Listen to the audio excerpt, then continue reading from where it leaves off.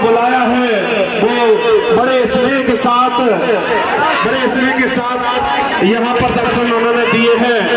श्री राम दरबार सेवा समिति, श्री राम सेवा समिति उनका हृदय से कोटि कोटि धन्यवाद करती है। और उनसे आशा करती है कि ऐसे ही इसलिए छतरपुर वासियों पर